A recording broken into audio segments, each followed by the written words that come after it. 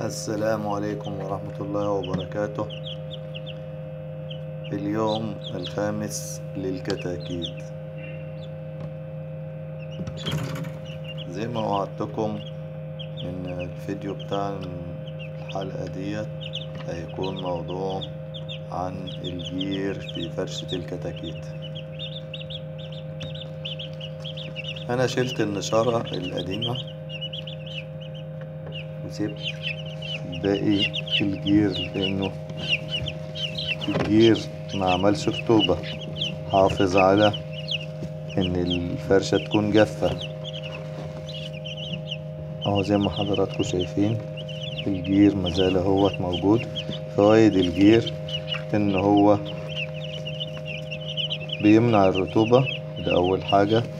وانه هو مطهر مطهر للمكان. ويمنع انتشار الحشرات. ومفيد حتى لو الكتكوت أكل منه ما يضرش فيه شيء.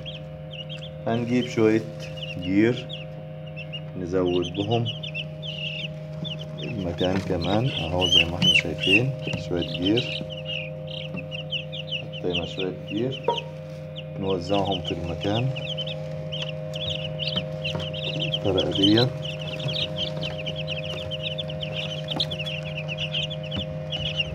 اهوت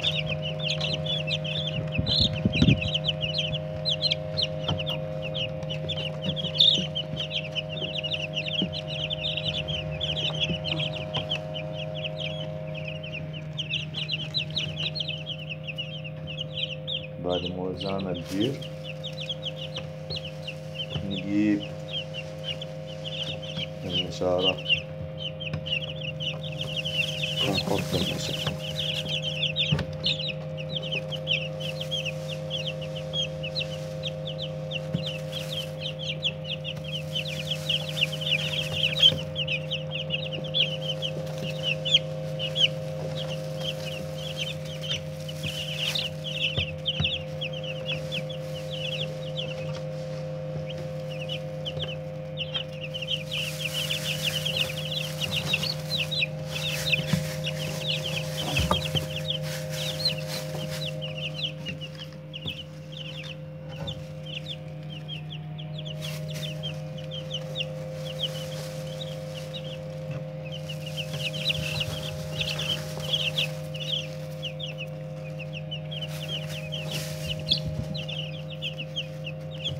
النشارة ديت بالطريقة ديت هتستحمل معايا الفرشة دي كام يوم من غير الجير.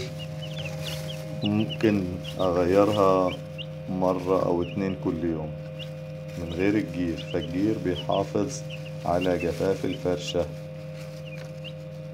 ويحفظهم من الأمراض. شكرا.